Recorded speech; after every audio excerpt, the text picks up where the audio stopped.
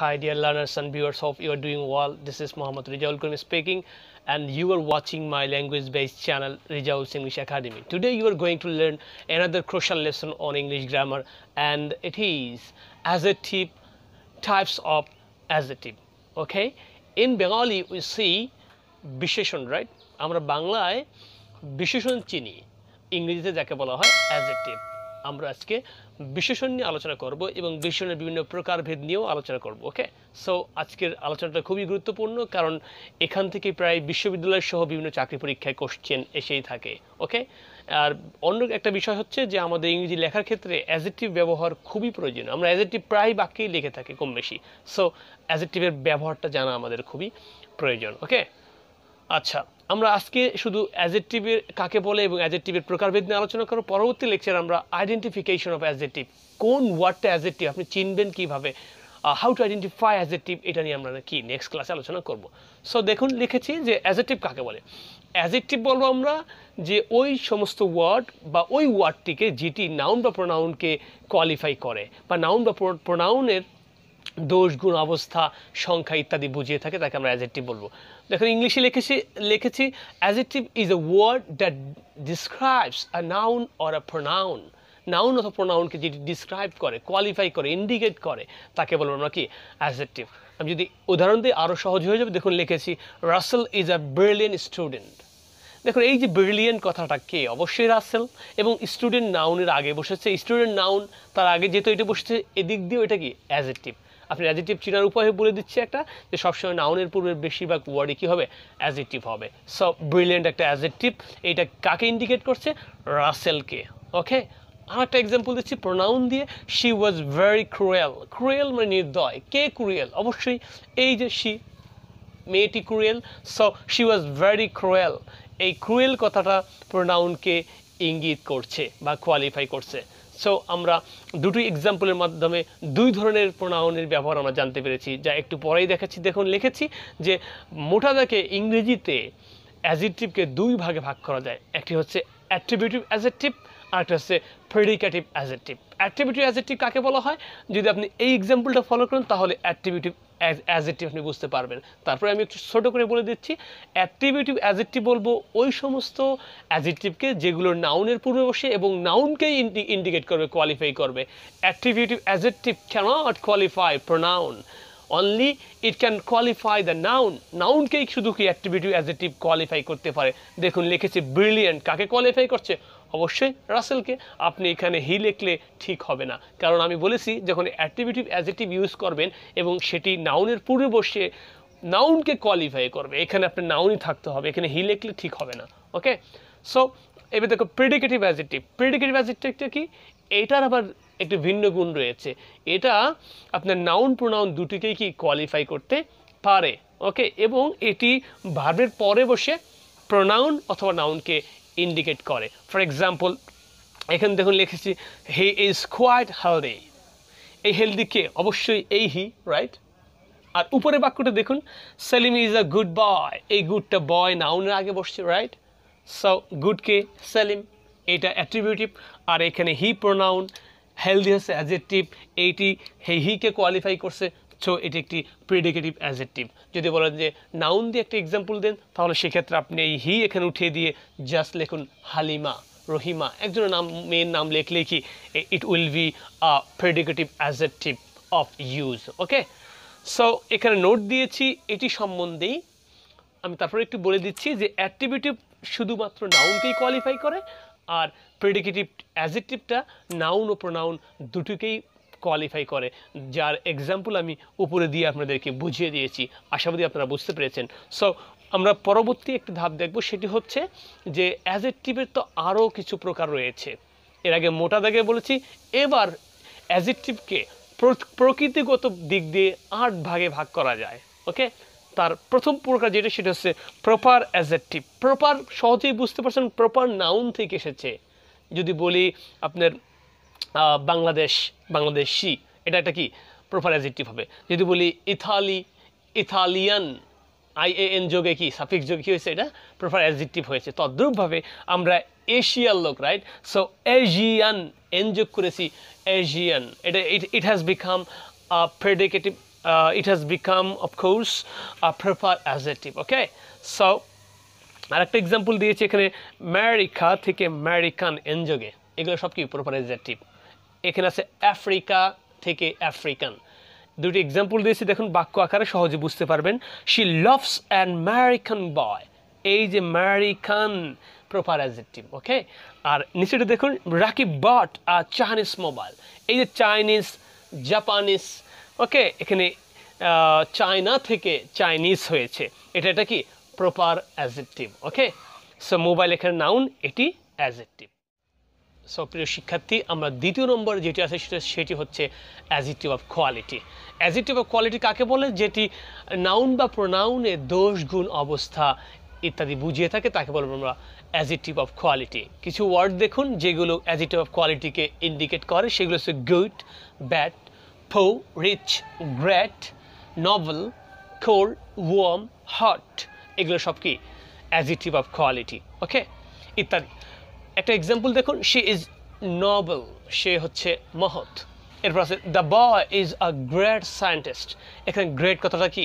Adjective of quality এক কথায় মোটা দাগ, এটা কি একটা অ্যাজেটিভ ওকে ওকে তৃতীয় নম্বর আছে, সেটা হচ্ছে অ্যাজিটিভ অফ কোয়ান্টিটি পরিমাপ বোঝায়, যে যে সমস্ত অ্যাজিটিভ নাউন বা প্রোনাউনের পরিমাপ যেগুলো ইন্ডিকেট করে, তাকে বলব আমরা- অ্যাজিটিভ অফ কোয়ান্টিটি দেখুন কিছু শব্দ মাছ অনেক হিউজ অনেক।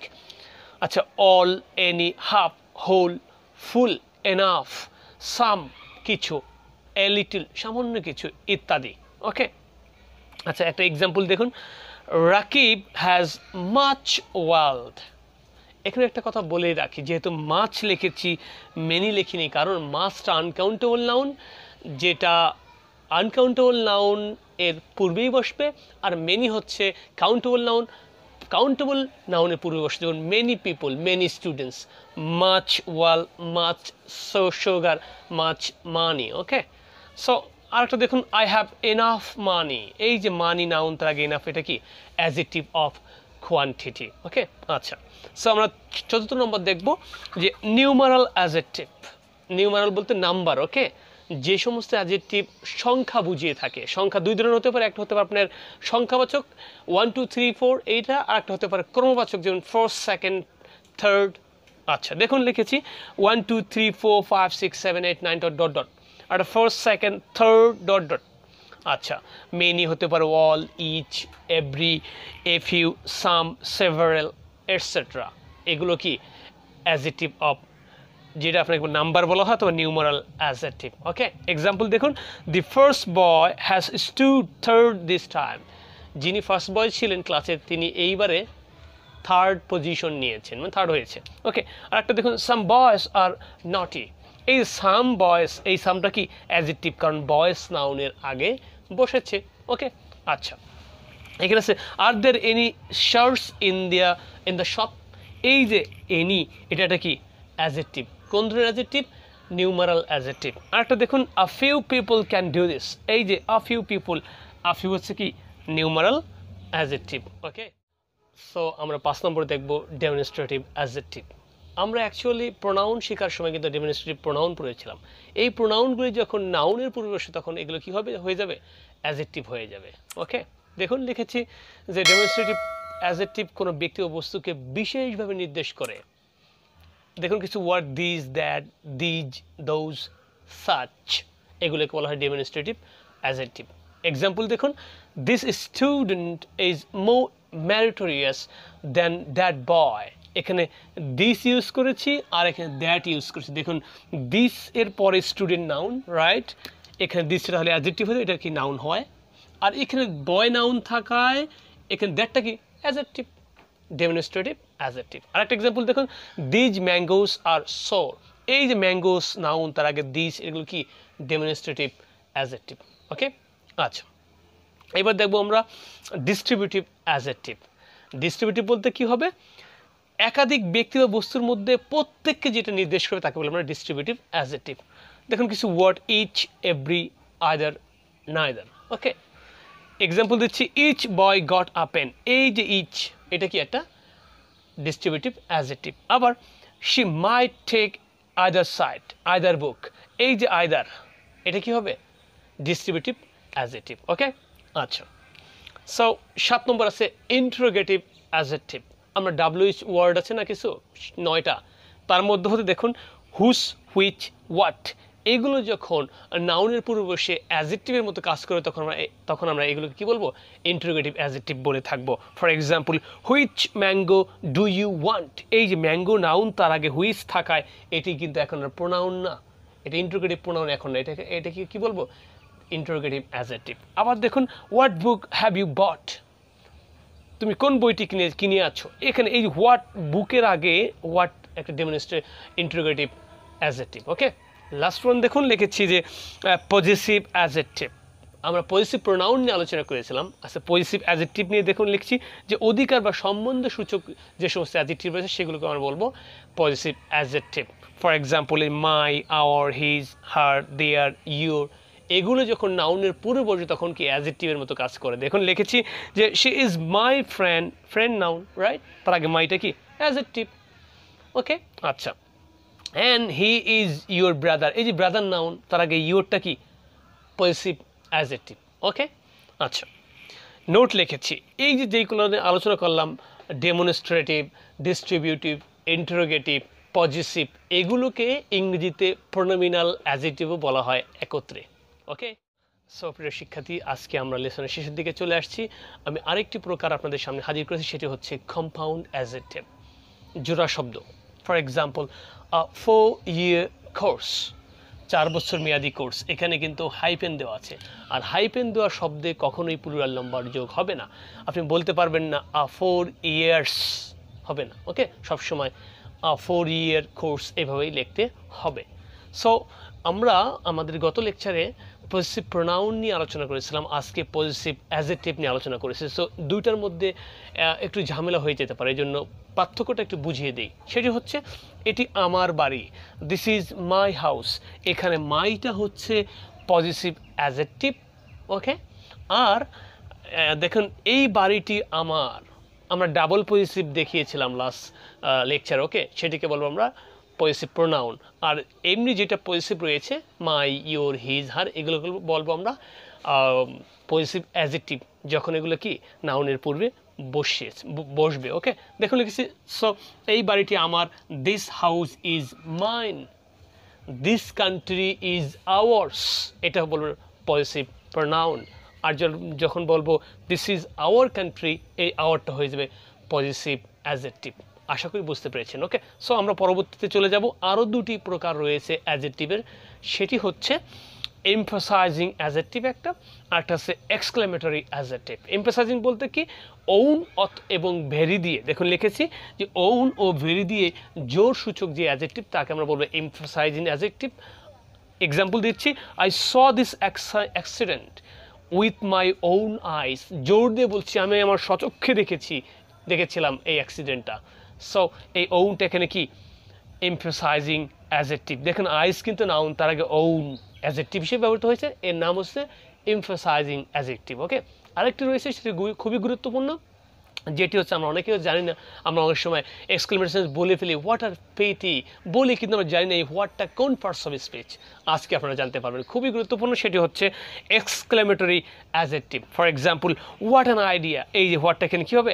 এক্সক্লেমেটরি অ্যাজেক্টিভ হিসেবে বসেছে। আর একটা দেখুন what a beautiful girl what a nice boy এইগুলো যা বলি সব, এই ওয়ার্ডগুলো কী হবে? এক্সক্লেমেটরি অ্যাজেক্টিভ হবে। সো আজকে আমরা অ্যাজেক্টিভ কাকে বলে এবং অ্যাজেক্টিভ কত প্রকার হতে পারে সে বিষয় নিয়ে আজকে আলোচনা করলাম। পরবর্তী লেকচারে আমরা দেখব যে কীভাবে আপনি আইডেন্টিফাই করবেন একটা সেন্টেন্সের মধ্যে এটি adjective how can you identify that this word is adjective okay এই বিষয় নিয়ে আমরা পরবর্তী লেকচার নিয়ে আসব। সো যারা আমার চ্যানেল আজকে আপনার নতুন এসেছেন, অবশ্যই আলোক্ষ লেখা সাবস্ক্রাইব বাটন প্রেস করুন। পাশে থাকা বেল আইকনে প্রেস করে অলে প্রেস করে দিন, যাতে করে আপনারা সবার আগে আমার ভিডিওটি পেতে পারেন।